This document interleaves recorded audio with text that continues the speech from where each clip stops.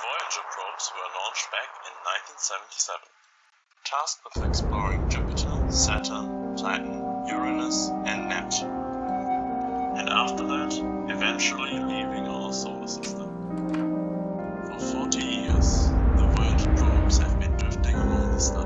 Just two hours ago, an unknown object has been discovered bearing towards the Earth. The object appears to move intelligently and is expected to make land the next two hours.